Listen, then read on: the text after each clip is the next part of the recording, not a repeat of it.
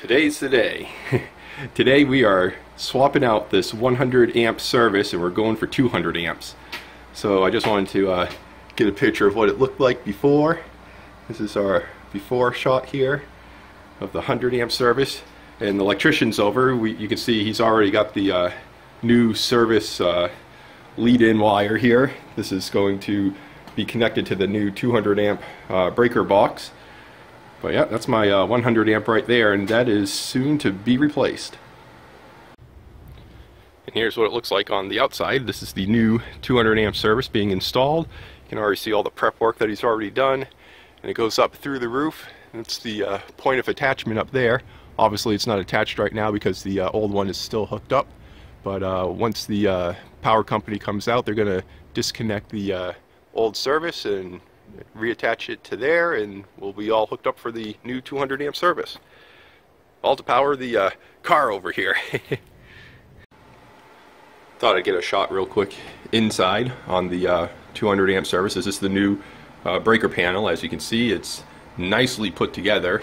You can see all the wires are nice and neat.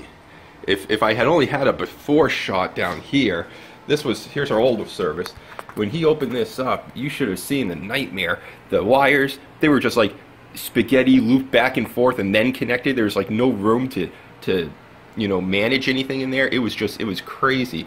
I guess the only plus side to that was he had more than enough uh, cabling so he could straighten everything out and make things come down, you know, nice and neat and straight over. So so yeah, this this is looking a lot better than the um than the one we had before and and you can see the, the futures so I can put plenty of more breakers in here if need be.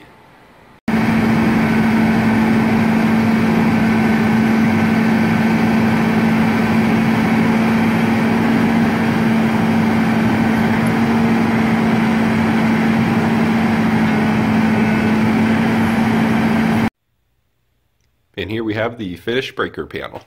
You can see I've got the 200 amp service, there's the main, and I've got all of my breakers and we've got room for expansion.